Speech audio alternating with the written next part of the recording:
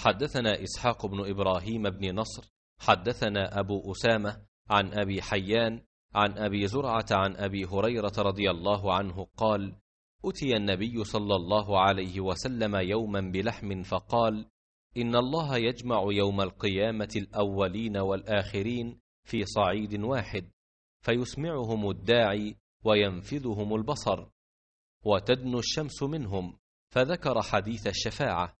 فيأتون إبراهيم فيقولون أنت نبي الله وخليله من الأرض اشفع لنا إلى ربك. فيقول فذكر كذباته نفسي نفسي اذهبوا إلى موسى. تابعه أنس عن النبي صلى الله عليه وسلم.